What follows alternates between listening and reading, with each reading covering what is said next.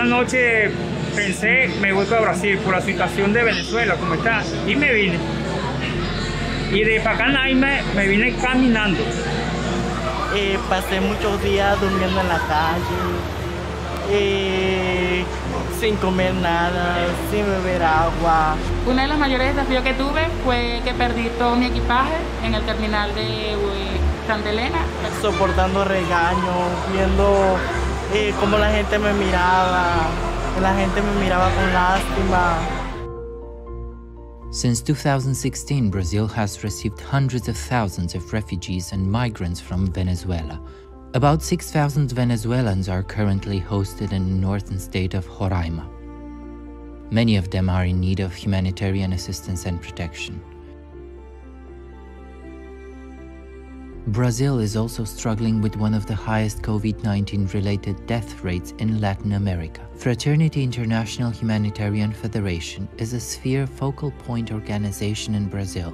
The humanitarian fraternity provides humanitarian assistance in Roraima. Do contexto da Operação Acolhida, que é uma resposta a nível nacional do governo brasileiro a essa crise migratória da, da Venezuela. No momento, nós atuamos na gestão humanitária de quatro abrigos no estado de Roraima e um alojamento de trânsito no Amazonas, na cidade de Manaus, em parceria com o Acnur, que é o Alto Comissariado da ONU para Refugiados. Sphere standards are based on human rights. They guide humanitarian professionals in ensuring the dignity of people receiving assistance. The standards provide a useful framework to plan, implement, and evaluate the humanitarian response, including in the context of the COVID-19 pandemic. Ela começou principalmente no mês de março e principalmente a partir do mês de abril, quando começaram a ter os primeiros casos, né, é, tanto no estado como dentro dos abrigos, já tinha toda uma estrutura, né, todo um fluxo já criado que facilitou muito. In March 2020, Sphere produced practical guidance on COVID-19 based on humanitarian standards.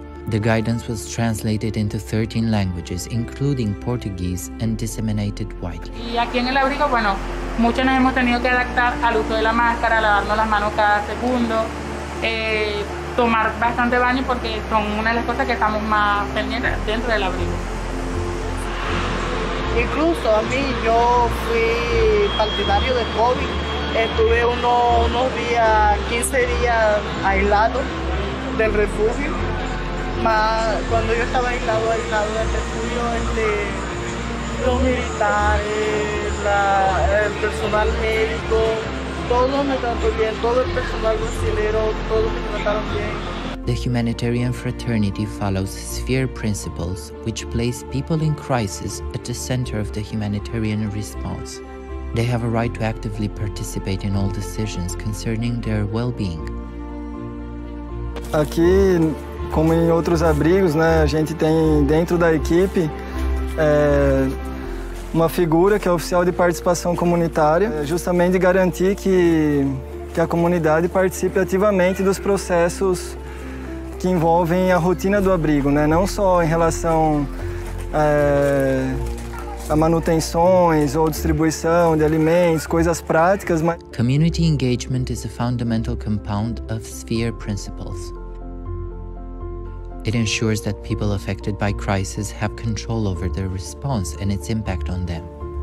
Gracias a ellos yo pertenezco a los tres comités, que es el comité de salud, comité de alimentación y el comité de de limpieza de, de los baños. Eh, aparte de la confianza que tengo con ellos, este voto de confianza que ellos me han brindado, fue escogido por el, la mismo, los mismos personal de aquí del, del abrigo e de verdad que me siento muy a gusto e muito cómodo ao trabalhar com eles. A garantia que elas sejam ouvidas, né, as suas pode-se dizer reivindicações, né, as suas necessidades específicas, né, para que isso seja levado, vamos dizer assim, em consideração na tomada de decisões. Sí, porque fraternidad a veces toman decisiones y llaman a la parte del comité y conversan con nosotros también. Y... Mira, a mí me llena de orgullo sentirme que, o sea, me están tomando en cuenta para algo y por mí mismo que yo siento que yo valgo como persona.